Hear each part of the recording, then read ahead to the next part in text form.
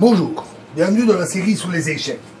Alors, toujours sur euh, les, exercices sur les promotions différentes de la dame. Et ici, une partie de Strangberg euh, Brecher contre euh, Benzinger. Et les blancs jouent et gagnent.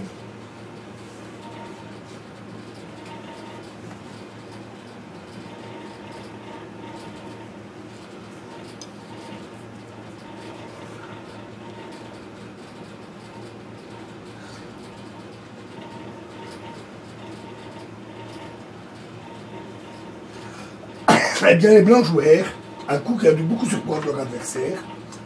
Dame prend H6. Après, G prend H6. Alors, G7, échec. Euh, roi H7, évidemment, puisque la case de est protégée par le fou.